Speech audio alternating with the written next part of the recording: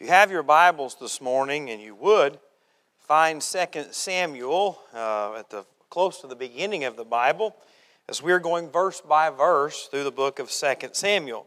A lot of people will ask, not so much here, but, oh, preacher, why do you go verse by verse, book by book? Well, because God knows where He wants us to be when He wants us to be here. And so, if today Chris Houghton was going to talk about praying and being considering how you're going to use your blessings, and I showed up with a sermon saying, Be wise with your blessings, you would say, Well, Jake, you're trying to make that fit with what Chris had to say. But if you've been here for the last 12 months and heard us go verse by verse through 1 Samuel, and then we started and went verse by verse through 2 Samuel, then you hopefully recognize that a year ago, I had no idea that today would be the day that we would talk about praying and giving and doing all those things. And so it is just that when we talk about hard topics or difficult topics, or you're sitting on a seat today and you're saying, How did he know what I'm going through on this day with that sermon? that it's not me. I, I cannot help you, but you can know that God knew where you would be today and what you would need to hear.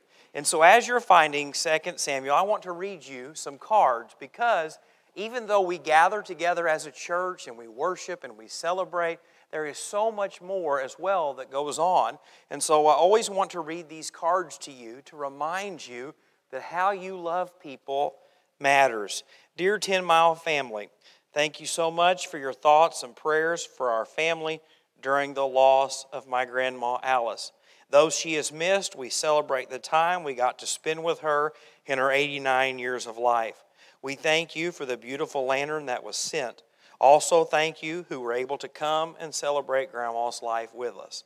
We love and appreciate you all, and that is from the Clark family. Continue to pray for them. Second card I have for you this morning is and we ask the Lord to shower you with his blessings. Thank you for your thoughts, prayers, and kindness during Pam's passing. We feel your love and God's grace so much during this time. That is from the family of Pam Ellis. I have two more cards today that are a little different. As you know, our kids' ministry sends cards, handwritten cards, to nursing homes, to uh, nurses and doctors, and and to servicemen, military men and women. And so I have two cards today that I want to read to you that Melissa gave me. To the children of 10 Mile Baptist Church, I cannot begin to thank you enough for the handprint artwork that you sent for the veterans at the Georgia War Veterans Home. I know that your kindness, care, and prayers will touch the lives of many veterans who are frequently lonely and forgotten. Thank you for partnering with me to bring them the joy of Jesus this Easter. Blessings and joy from Cindy Moran, a proud Marine and Navy mom. The last one is Hello, kids. And the mom sent a picture of her daughter by the ship. I want you, on behalf of my daughter and the sailors she is working with, your words of kindness and encouragement will be very much appreciated. I am sending your cards to the sailors today. I have enclosed a photo of my daughter and the team that she works with. They maintain the engines of the F 18 jets. Thank your teachers for showing you how to care and encourage others. And so, whether it is those who have lost their life, or those who are willing to put their life on the line, or those who have served honorably, it is our job to love one another. And so I want to thank you for being a church that cares. I know people say it all the time. Well, I would love to come to 10 Mile, but it's just too big. Right? It's just, it's too big for me. But, well, I want you to know that it is. It's too big for me most of the time. But what it is, is more people who have an opportunity to love other people. And so I just want to say thank you this morning. And so today I want to ask you a question Would you rather be blessed or stressed? I think all of us would say blessed, right? If you were to say today, and I was to ask you, would you rather be in a time of feast or famine? Most of us would say feast. And, and looking at most of us, that's the truth, amen? Now, I've lost a lot of weight, but I still ain't lost enough weight to button my top button on my collar yet, so I still need some probably more famine. Today, if I was to ask you, would you rather be gifted or not gifted? Right? For my kids, I always prayed, Lord, I want them to be good athletes. But now that I have to deal with other parents, I wish they were not gifted in athletics. Because why? Sports are wonderful, but parents are awful. And I can be the awful parent, by the way. Please don't think that I am opposed to yelling at an official. You shouldn't, but I, I have been known to do it. But this idea of gifts, the blessings of God, is something that all of us, if we're in our right minds, recognize that we want. We want our children to be blessed. We want our marriage to be blessed. We want our church to be blessed. We want our homes and nation to be blessed. But today I just don't want to talk about spiritual blessings. I want to talk about anything that God has given you that you are successful at, that you are gifted at. You might be able to say, Jake, I am the world's best cooker. Or maybe today you say, Jake, I've got a gift for financial stuff. Or maybe today you're here saying, Jake, I've got a gift of putting up with dumb people. And if you've got that gift, you are thriving right now in the world that we live. But today I want to show you that God is the giver of those gifts. In James, the first chapter, verse 16 and 17, the Bible says, Do not be deceived, my beloved brethren. Every good gift and every perfect gift is from above and comes down from the Father of lights, with whom there is no variation or shadow of turning. Today, whatever God has blessed you with, you need to recognize that it's God. You say, Well, Jake, I, I was the fastest kid in third grade. That's a gift that God gave you. You say, Well, Jake, I, I, you know, I had the highest IQ in my class. That's a gift that God gave you. And you say, Well, Jake, it's not a spiritual gift. No, but if God gave it to you, He wants you to use it for His glory. In 2 Corinthians chapter 9, the Bible tells us that we have been blessed. We have been given gifts to use them for the good and glory of God. And so, if you would stand with me just for the reverence of reading these verses and the respect to God's word, then we're going to jump into our text this morning. But Second Corinthians chapter 9, starting in verse 10, says these words Now may he who supplies seed to the sower and bread for food supply and multiply the seed that you have sown and increase the fruits of your righteousness, while you are enriched in everything for all liberality, which causes thanksgiving through us to God, for the administration of this service not only supplies the needs of the saints, but also is abounding through many thanksgiving to God. Not only did it meet their needs, but it was able to be shared and it was bringing God glory. And today I hope that you're blessed, but I want to tell you that you have to be wise with your blessings. Pray with me this morning. Father, I thank you for your word. Lord, I thank you that you know where we need to be when we need to be it. I thank you for the people that you have sent here today, Lord, knowing what they need and what I need. And so, Father, today I pray that you would forgive me of my sin, that you would not allow the flesh and the weakness of who I am to hinder what your Spirit is doing in this place today. And so, Lord, we give you all the credit, the praise, the glory, and the honor. And we ask it in Jesus' name. Amen. And so, if you remember two weeks ago in 2 Samuel chapter 2, uh, the, uh, Abner has set up a false king. David has been crowned king of the one tribe. And so you have two kings in the same nation. And those kings have armies and commanders, and what happens is that the commanders of the armies meet around a pool and they decide to have a competition. If you remember, uh, a battle, a, a kind of a, an old school WWE wrestling match, but that turns into 12 on 12, and all 12 of each side, 24 total men, die. Well, as you can imagine, when that happens, something stirs up in the armies that are watching this, the military leaders that are watching this. And so a great battle ensues. I mean, if you stood by and watched something happen like that to your friends and your family and your brothers in arms, you would be ready to go to war. And I think it's interesting because while we're talking about war and the devastating effects of it and, and to be careful, we're watching it go on in the world that we live. And so, the first thing I want to show you this morning about your blessings or your gifts is don't let your gifts bring you down. You say, well, wait a second, Jake, you just talked about blessings and God's goodness and gifts. How many of us have watched people's success destroy them?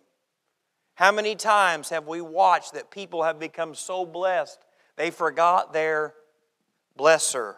They're too smart for their own good. They use their charm to deceive people. And that's what we see here in this passage of Scripture. And starting in verse 18, it says, now the three sons of Zeruiah were there Joab, who was the commander of David's army, and Abishai and Ashhel. And Ashhel was as fleet as foot as a wild gazelle. Ashhel would have been literally an Olympic runner. He was the fastest man in Israel. He ran like a wild animal. This is how much he had been gifted by God. You say, well, Jake, he could have used that for all kinds of things. I guess so. I don't know what you would use it for, but at that day and age, he was. And so, as this battle begins in verse 19, so Ashhel pursued Abner. So he decides, I'm going after the guy who orchestrated this catastrophe, Abner. And in going, he did not turn to the right hand or to the left from following Abner. You've probably seen a television show or a movie where someone is chasing someone else to do them harm. There would have been a battlefield full of people, so you can imagine Abner is running past swords and spears and people fighting, and here is Ashel following behind him as fast as he can. Then Abner looked behind him and said, Are you Ashel? And he said, I am. And Abner said to him, Turn aside to your right hand or to your left and lay hold of one of the young men and take his armor for yourself. You see, Abner was a skilled military commander. He was a middle aged man, you might say, who had been through battle and been through war and knew how to fight. And he is saying, Don't pursue me. Don't follow after me. Stop and fight one of these other young guys. As you know anything about youth, it is the fact that you bite off more than you can chew. and Abner says, Don't, don't do this. But Ashel would not turn aside from following him. So Abner said again to Ashel, Turn aside from following me. Why should I strike you to the ground? How could I face your brother Joab? You see, again he warns him, Do not pursue me. I do not want to kill you.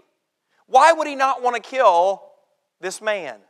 Because, one, he knew something. If he killed a guy's brother, there would be no going back with Joab. There would be no reconciliation. There would be no peace if this war didn't go in their favor. You see, Abner was the ultimate power player in politics. He had orchestrated all of this. He was unlike any other man in Israel, David said. And so he recognizes, I don't want to kill the brother of my enemy.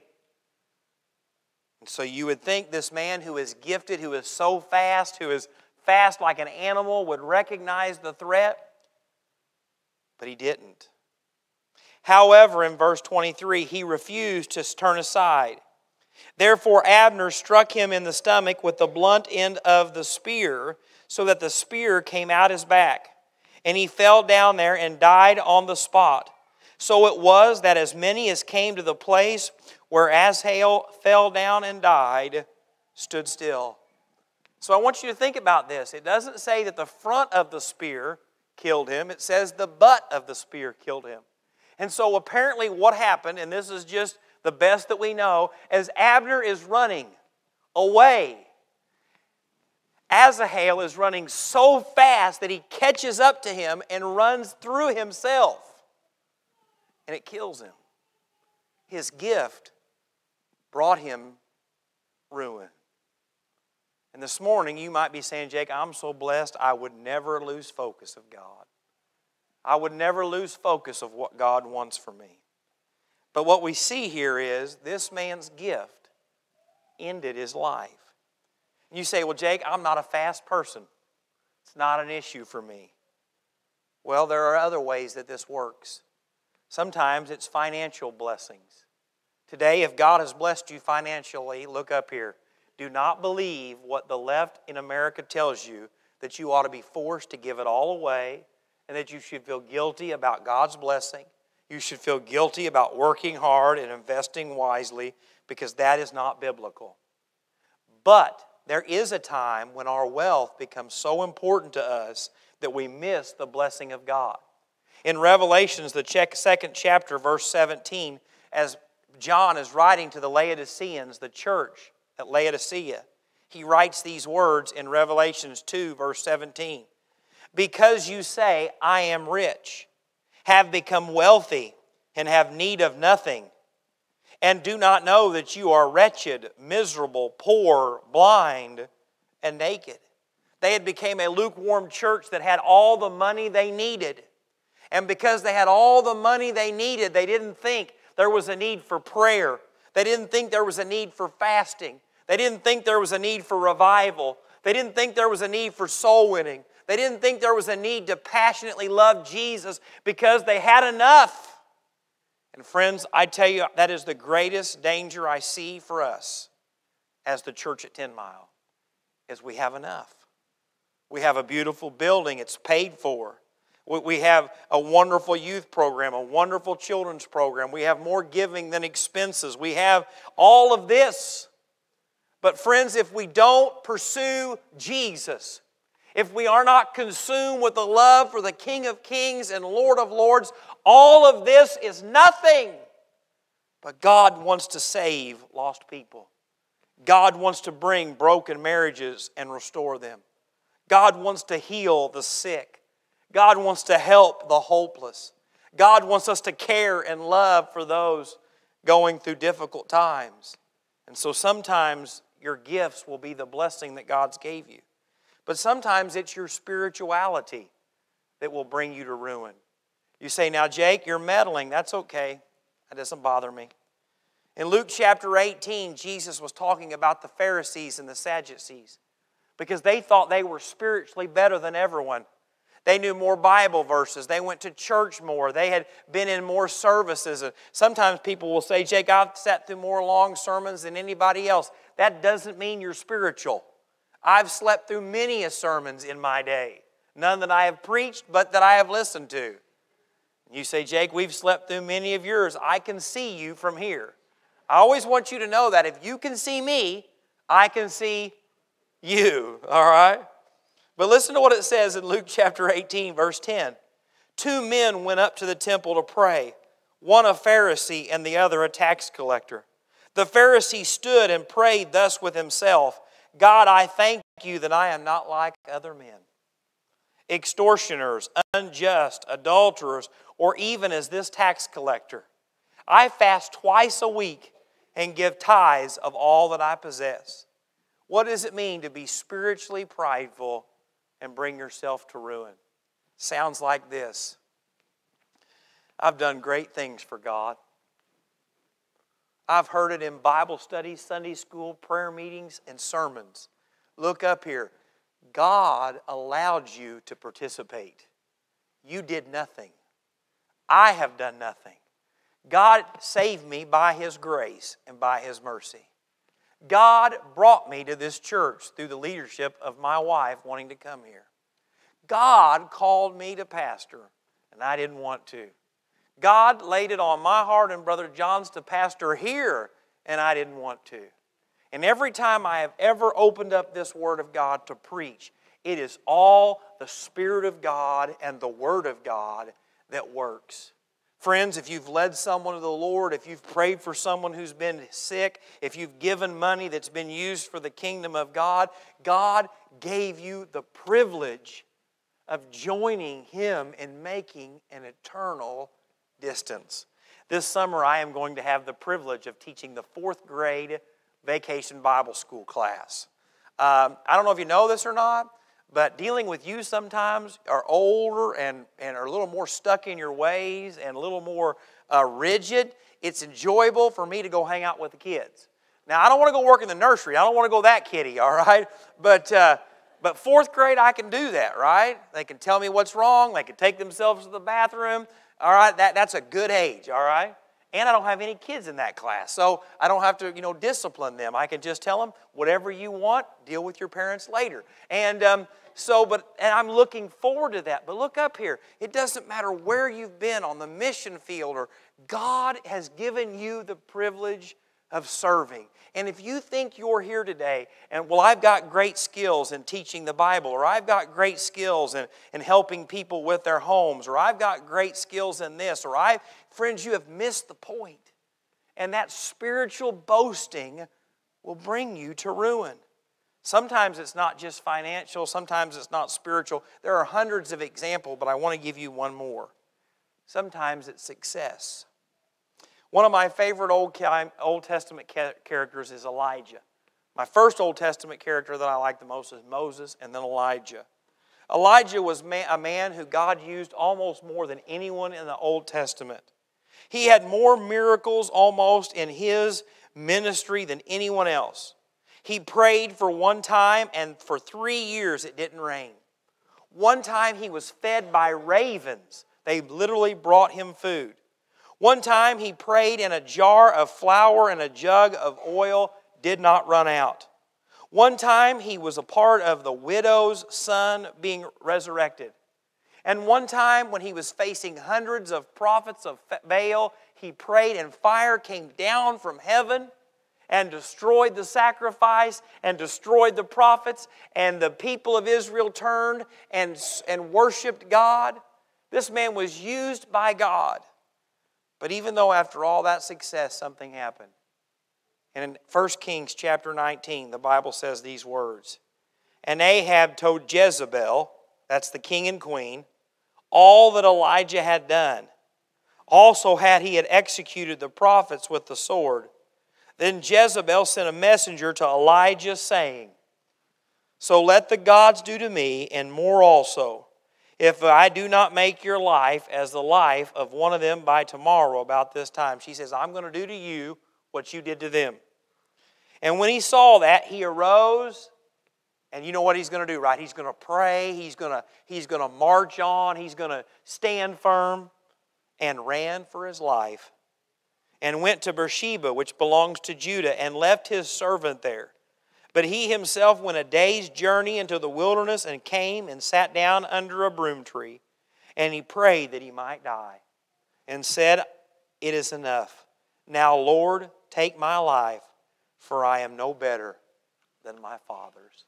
Even through all of his success, he had grown weary, he had been burnt out, and in the moment of trial, he fled. And so today, be careful of the gifts that God has given you. Be thankful for them. Rejoice over them. But don't let them cause you to stumble. Second thing I want to show you this morning is don't let your gifts bring you down, but don't let your passion bring you down. Today, I would say that all of us are passionate about something. Now, I know they are the most hated team probably in all of college basketball, but I am a huge Duke fan. I love Duke basketball. I know they are rich, entitled, spoiled Southern brats, but it does not bother me. I love Duke basketball. Now, I know what you might be saying if you're like me. It's easier to hate Kentucky than Duke, but we won't go there this morning because it's been a rough tournament for you. And so, in Jesus, we'll move on. But last night, as I was reading and I was watching the scores on ESPN because I refused to watch television, and they were ahead, and then they were a little closer, than they were ahead. I'm sitting downstairs. I'm going, yeah, baby, yeah! Because no one thought they could win. That's a passion that's probably not that important. But you and I are passionate about something. Maybe you're passionate, hopefully, about your children and your family. And if you are a parent today and you've ever seen your kids wronged or your kids mistreated, no matter of what makes sense, Common sense is usually what? Out the window. And so I don't ever blame parents when they do dumb things when their kids are involved. Because all of us can be that way. We can say things and do things and think things and act in ways because our passion drives us. But today, God has given you a passion for something. Maybe it's a passion for missions. Maybe it's a passion for soul winning. Maybe it's a passion for prayer ministry. Maybe it's a passion for jail ministry. Maybe it's a passion for who knows what. But don't let your passion bring you down. Look what it says in verse 24. Joab and Abishai also pursued Abner. So everyone stops at this site of where he dies. And as you can imagine, people are saying, I can't believe it. I, I can't imagine it. What has happened? And so his brothers are after him. And the sun was going down when they came to the hill of Ammah, which is before Giah by the road of the wilderness of Gibeon. Now the children of Benjamin gathered together behind Abner and became a unit and took their stand on top of a hill. Then Abner called to Joab and said, Shall the sword devour forever? Do you know that it will be bitter in the latter end? How long will it be then until you tell the people to, re- to return from pursuing their brother? Then Joab said, As God lives, unless you had spoken, surely then by morning all the people would have given up pursuing their brother. So Joab blew a trumpet, and all the people stood still and did not pursue Israel anymore, nor did they fight any anymore. Then Abner and his men went all night through the plain, crossed over the Jordan, and went through all Bithron, and they came to Mahanaim.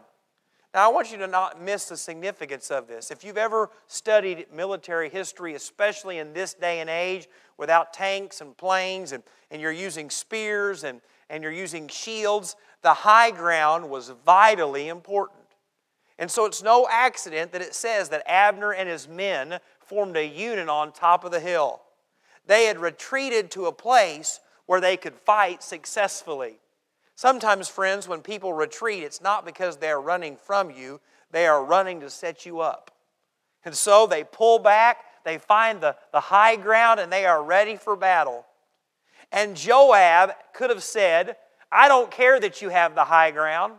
I don't care that you have your troops in the right order and the right position. You killed my brother, and I am coming up this hill.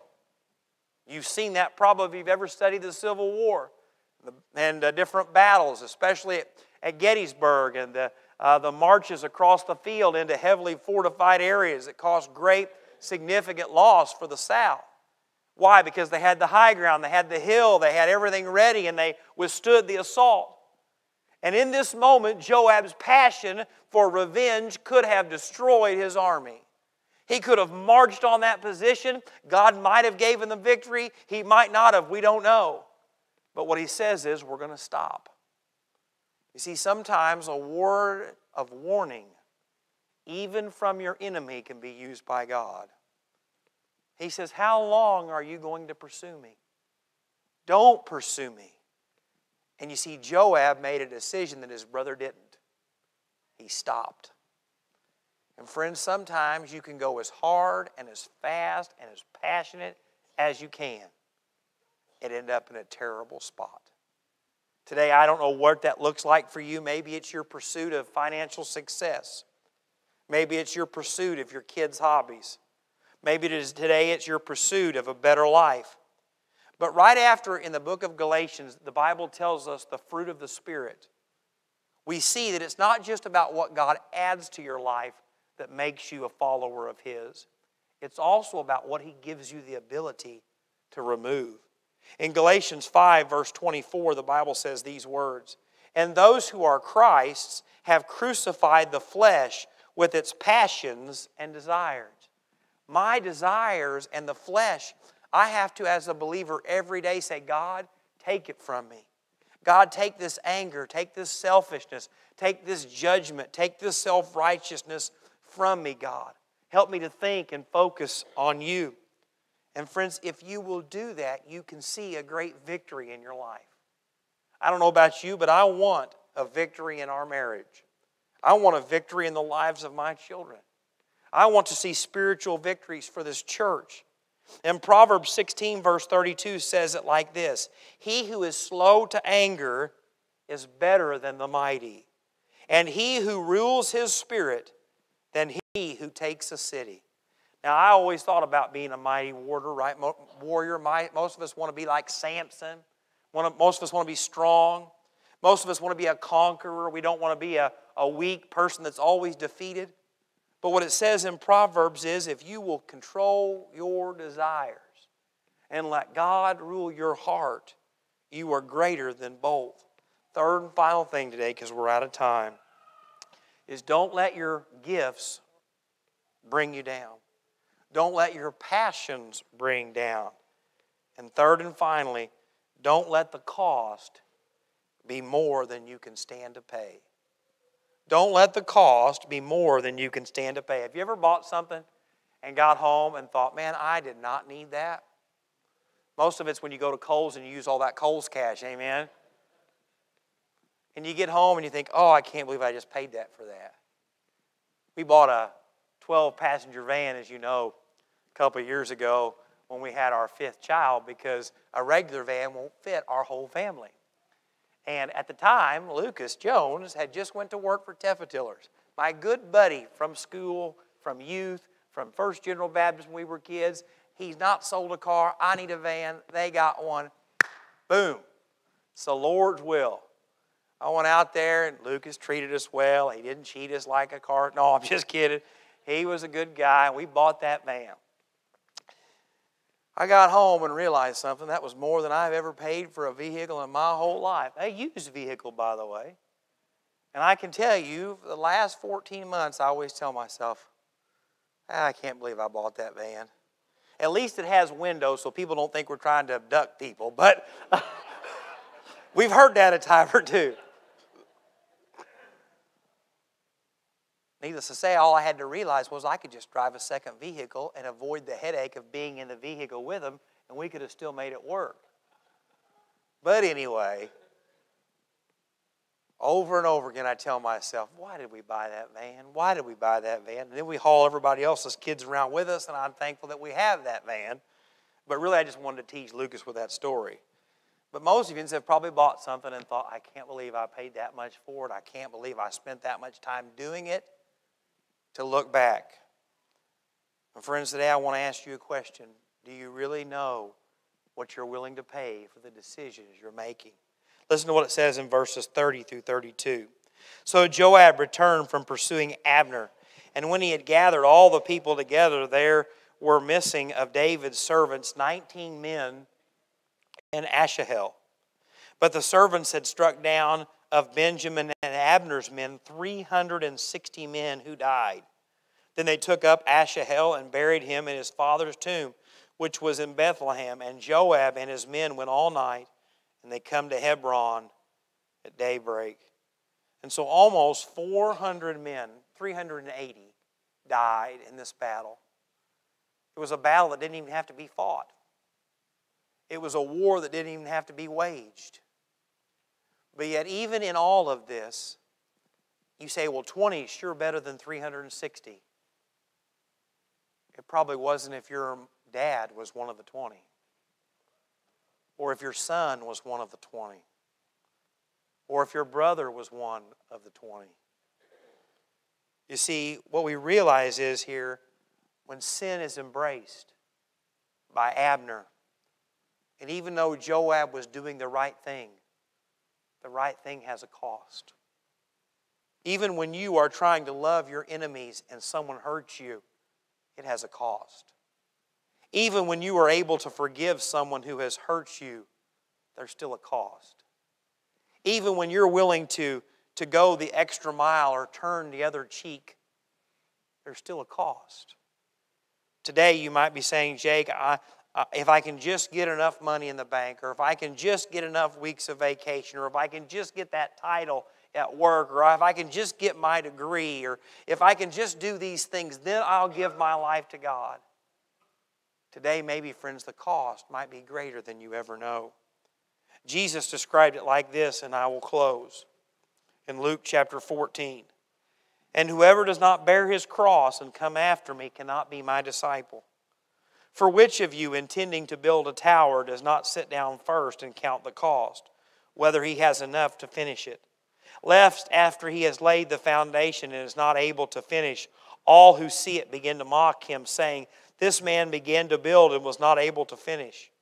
Or what king going to make war against another king does not sit down first and consider whether he is able with 10,000 to meet him who comes against him with 20,000? Or else, while the other is still a great way off, he sends a delegation and asks conditions of peace. So, likewise, whoever of you does not forsake all that he has cannot be my disciple. You see, what we see in modern day Christianity is add Jesus, get forgiveness, and live your life just the same. But Jesus says that's not how it is. Jesus says that he stepped out of heaven and lived a perfect life, that he willingly went to the cross, that he allowed them to hang him there, and that as he hung on that cross, he took the punishment for your sin and for my sin, and that he died bearing those sins and judgment. But yet he arose from the grave. And the Bible tells us that one day, Uh, at some point in your life, the Spirit of God will convict you. The Bible says the Holy Spirit was sent into the world to convict us of sin, righteousness, and judgment. And when you realize that you're a sinner, that you are lost and on your way to hell, that's the Spirit of God. He's convicting you of your need for a Savior. That moment is a moment to be thankful for. You say, No, Jake, I want to live how I want to and do what I want to and, and not worry about it. You will on Judgment Day. But because God loves us, He sent His Spirit to convict us. And so when He convicts us of sin, we have an opportunity to respond by faith, not of works. You can't be baptized and get to heaven by that. You can't take the Lord's Supper to get you to heaven. You can't be a member of a church to get to heaven. You, you can't give enough money to get to heaven. When you fall under conviction, you have to be willing to say, Lord, forgive me. God, I am turning from my sin, from my selfishness, from my life of living for me to you. God, forgive me of my sin. Come into my heart and life as the Lord and Savior of my life, and He will save you immediately. The Bible says, if you call upon the name of the Lord, you shall be saved. But after that, your life is not yours anymore. It's a life of following and serving Jesus, and it's worth it. People say, Well, Jake, I don't want to get saved. I can't drink, cuss, swear, chase women, do all these things. I am telling you what God gives you at salvation far outweighs the pleasures of sin. The Bible says the pleasure of sin is fading, but the joys of salvation and a life spent following Jesus only get sweeter and sweeter as the days go by. And so today, maybe you're here and you're lost. Today could be the day that you call upon Jesus, find forgiveness and hope in eternal life. But maybe you're here today and you're a Christian and you've been trying to live one foot in the world and one foot following Jesus. Friends, you can't. Jesus said to be lukewarm is to be spit out of his mouth. But today I want to encourage you to follow him completely. That means, God, search me for my sins that are hidden. Lord, search me for those things that shouldn't be in my life. God, help me to love you and to follow you with everything that I have. And He will this morning. And so today, don't let God's gifts and blessings and desires that He's given you bring you to a place where the cost is more than you can bear to pay. If you would stand with us as Jamie comes and Janice comes and we pray. Father, today I pray that your people have heard your word, not from your messenger, but from you. Father, today I thank you for your word that it's always timely and accurate of what we need to hear. Lord, I pray today, God, for the person that's in here that doesn't know you. God, that today during this time of invitation they'd step out and come. Give them the courage to come, Lord, knowing that if they will confess and repent, Lord, that you will save them. Father, today I pray for that believer that's here that's been kind of backslidden or just going through the motions or God who's just been just kind of just uh, just not pursuing you, but just as is. And Lord, maybe it's something totally different today. Or maybe someone has realized they've made an idol of certain blessings you've given them. and today, God, they're ready to give it all back to you. Lord, maybe it's something totally different. Whatever it is today, God, I pray that you would work for your glory and your glory alone. And God, I ask it in Jesus' name. Amen.